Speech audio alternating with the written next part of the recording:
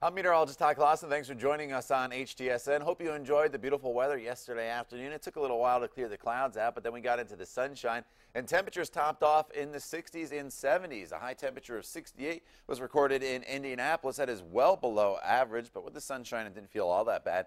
Got up to 70 in Bloomington as well as Terre Haute. Well, today we'll take these temperatures up into the mid 70s. We'll keep the sunshine around, and I think today is simply going to be the best day of the week.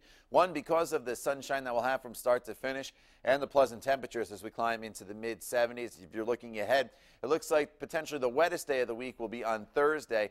That's when we're expecting some scattered showers and thunderstorms to arrive back in the forecast. But this should be on a scattered basis, which is certainly good news. But enjoy today. Take a look at this. We'll have the sunshine throughout the entire day.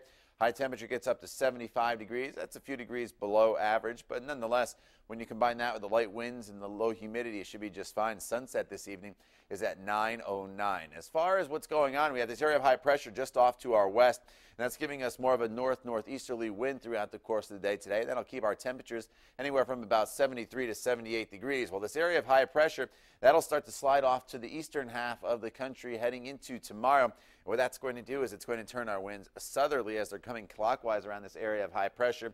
And that is going to, one, bump the temperature up anywhere from about 75 to 80 degrees for Wednesday through Saturday. But it's also going to increase the humidity just a little bit and also the chance of a few spotty showers as we go into Wednesday evening. So let's talk about the showers as we go into the day tomorrow. Uh, but first, let's talk about baseball. How about Victory Field later on this evening? 7.05 is the first pitch.